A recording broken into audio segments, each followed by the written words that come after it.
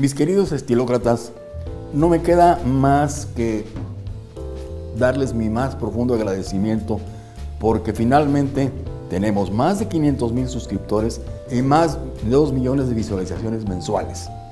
Y con estos 2 millones de visualizaciones queremos ofrecerles a ustedes la posibilidad de promoverse a través de nosotros.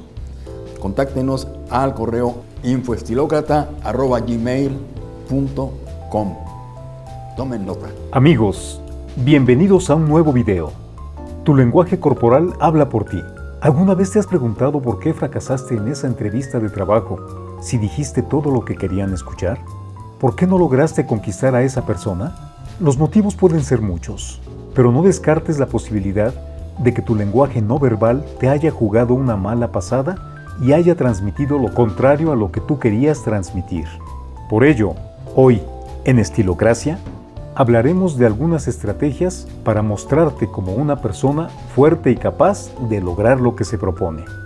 Cuidado con los brazos. Tus extremidades superiores pueden mostrarte como una persona lejana y soberbia si los pones detrás de ti cuando hablas con otras personas, mientras que los brazos cruzados al frente y sobre el pecho te hacen ver amenazante. Lo mejor para parecer un buen líder es mantener los brazos abiertos y relajados.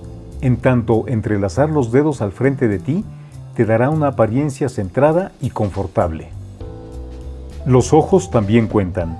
Tus ojos muestran si estás realmente concentrado, así que estar viendo el celular o quitando la pelusa de tu suéter solo refleja que tu interés está en otro lado. Puedes fingir si se te dificulta mostrarte seguro. Haz un buen contacto visual, asiente y mueve las cejas cuando escuches a la otra persona. Eso te hará parecer alerta y muy interesado. Derecho. El viejo consejo de las madres nunca había tenido tanta relevancia. Cuando te paras con los hombros hacia los pies, con la espalda en forma de C, te muestras incómodo en tu propio cuerpo, lo que aleja a las personas. Para mostrarte más confiado, es esencial que te pares con los hombros a la altura de la cadera.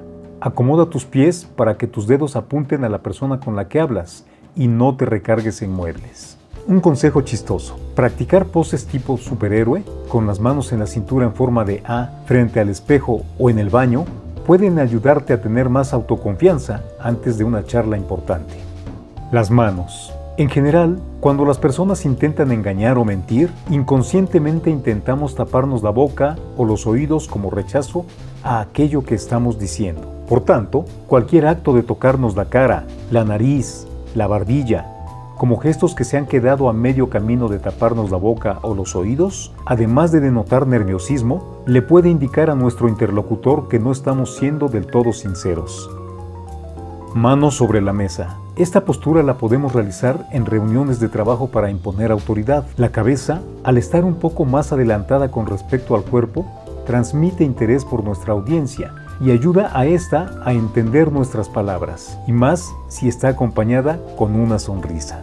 Apretón de manos. Cuando vayas a saludar a alguien, dando la mano, procura hacerlo ni demasiado fuerte ni demasiado flojo. No hay nada más desagradable como que te den la mano sin fuerza o que casi te rompan los dedos. Transmite seguridad en tu agarre. Gesticulación. Es importante acompañar las palabras con gesticulaciones, pues ayudan a transmitir el mensaje y enfatizar las palabras. Sin embargo, hay que tener en cuenta que una gesticulación muy exagerada o rápida puede hacer el efecto contrario, distraer de lo que se quiere transmitir. Y una última cosa, no olvides sonreír. Una sonrisa es esencial para calmar las dudas de un interlocutor y es una señal segura para ti mismo de que estás haciendo algo útil. Esto te puede ayudar a generar la confianza necesaria para cualquier situación. La manera en la que te muevas impacta en cómo te conectas con otras personas. Gracias por ver este video. Recuerden activar las notificaciones y síganos en nuestras redes sociales. Suscríbete y activa las notificaciones. Nos vemos en un nuevo video. Hasta la próxima.